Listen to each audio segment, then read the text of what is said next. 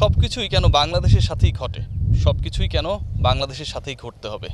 বাংলাদেশ যখন দলটা হয়ে যায়, তখন আসলে আইসিসির আচরণ কেন অনেক বেশি বিমাতা সুলভ হয়?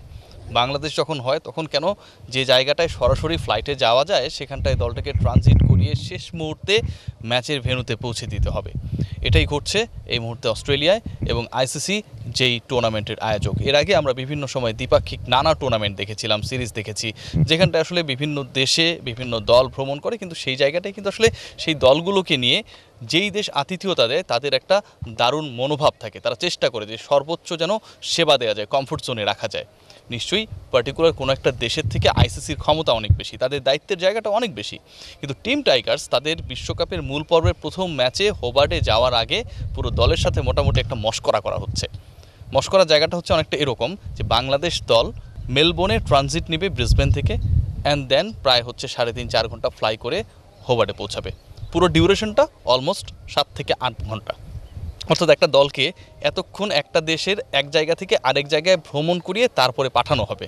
যে সময়ের মধ্যে বাংলাদেশ দল যদি ব্রিসবেন থেকে কিংবা অস্ট্রেলিয়ার কোনো একটা টেরিটরি থেকে রওনা দিত, তাহলে হয়তো বাংলাদেশেই পৌঁছে যেত কিন্তু এই জিনিসটা হবে।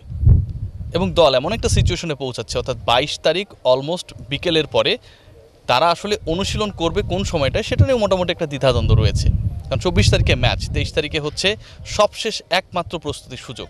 বাইশ তারিখে রাতে যে প্রস্তুতি পরিকল্পনা করা হচ্ছে ডিউ টু দ্য জার্নি সেখানটাও রয়েছে যথেষ্ট প্রকৃতির বাধা। বৃষ্টির সম্ভাবনা রয়েছে আন্ডার লাইটস প্র্যাকটিসের যে সুযোগ বাংলাদেশ চাচ্ছে, সেটাও যে আসলে বাস্তবায়িত হবে, সেটার কোনো গ্যারান্টি নেই। সবচেয়ে বড় প্রশ্ন যেটা, সেটা হচ্ছে পুরো দলের সাথে যে অ্যাটিটিউড করা হচ্ছে, সেটা কিন্তু উন্নত কোনো দেশের সাথে বা দলের সাথে কিন্তু সেভাবে করা হয় না। এই জায়গায়, বাংলাদেশের জায়গায় যদি ভারত হতো, বিরাট কোহলিরা যদি ট্রাভেল করতো, তাহলে কি সেই দলটাকে ব্রিসবেন থেকে হোবার্ডে নেওয়ার ক্ষেত্রে কিংবা অন্য কোনো একটা গন্তব্যে নেয়ার ক্ষেত্রে ট্রানজিটের যে নাটক, যে ড্রামা সেটা করা হতো? নিশ্চয়ই হতো না। অস্ট্রেলিয়া তারা হোস্ট তাদের ক্ষেত্রেও কি সেটা হচ্ছে? ইংল্যান্ডের ক্ষেত্রে সেটা হবে না, নিউজিল্যান্ডের ক্ষেত্রে সেটা হবে না। কিন্তু যখন দলটার নাম হয়ে যায় বাংলাদেশ, তখন আসলে যে যা যেভাবে ইচ্ছা সব কিছুই যেন অ্যাপ্লাই করার চেষ্টা করে পুরো দলের উপরে। দুঃখজনক হলো সত্য, আমাদের ম্যানেজমেন্ট সেই ব্যাপারগুলোকে মেনেও নেয়।